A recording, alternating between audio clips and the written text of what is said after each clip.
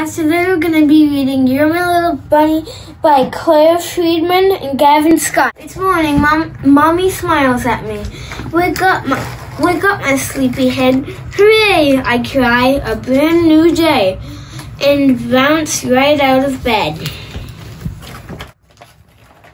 Graze in the clover fields.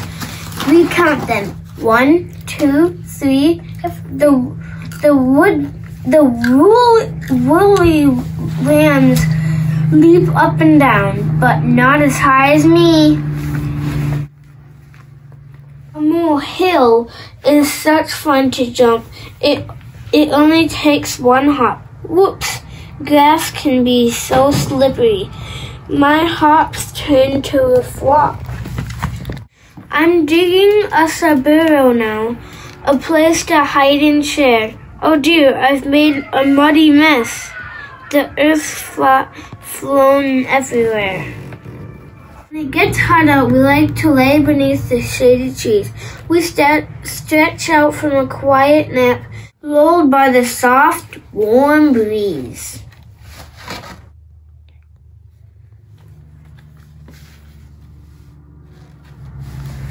The cows munch on the soft green grass.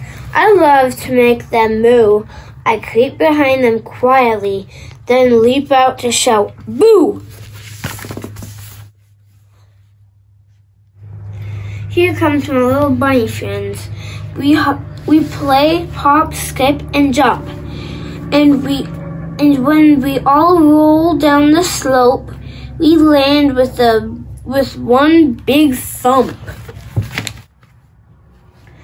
Soon sparkling stars begin to peep.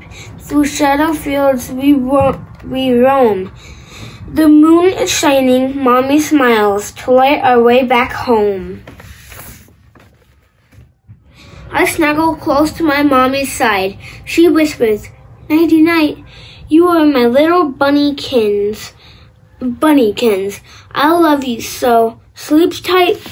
The end. Hope you had a good time listening to You're My Little Bunny, I think, yeah. And don't forget to like and subscribe. Bye!